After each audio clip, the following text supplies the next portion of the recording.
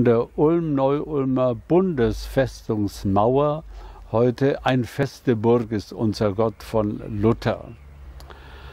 Er hat es gedichtet nach dem Psalm 46.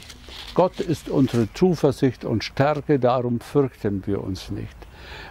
Wenn gleich die Welt unterginge, gesungen hören wir dann die Strophen 1 und 2. In den Strophen 3 und 4 drückt er aus, was für ihn es bedeutet.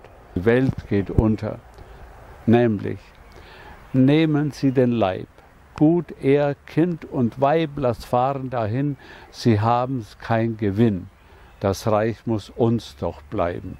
Oder, und wenn die Welt voll Teufel wäre und wollte uns gar verschlingen, so fürchten wir uns gar nicht sehr. Es soll uns doch gelingen. Resilienz nennen wir das heute, was für ihn diese große Zuversicht ist und das Gottvertrauen. Das Lied wurde ja zum Lied der Evangelischen überhaupt. Deshalb meistens am Reformationstag gesungen. Man weiß nicht genau, wann er es gedichtet hat. Jedenfalls äh, zwischen 1521 und 30.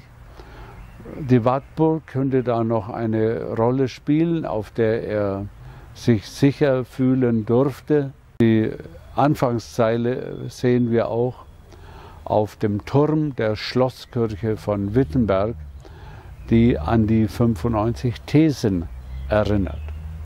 Bei der Melodie ist Johann Walter beteiligt, der Urkantor der Evangelischen, der auch die Gottesdienstordnung mit Luther zusammen gestaltet hat. Die deutsche Messe, in der vieles von der ursprünglichen und gemeinsamen Messfeier, die bis heute die katholische Kirche hat, dabei ist. Ein feste Burg ist unser Gott, ein gute Wehr und Waffen.